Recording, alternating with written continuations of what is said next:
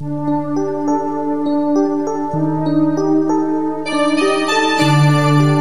to tell us the history of what's happened here? It was um, farmed uh, virtually straight after it was cleared, um, consisting of a rotation pr- program where it would be farmed for one year and then um, given a spell for the following. That had happened up until about 202.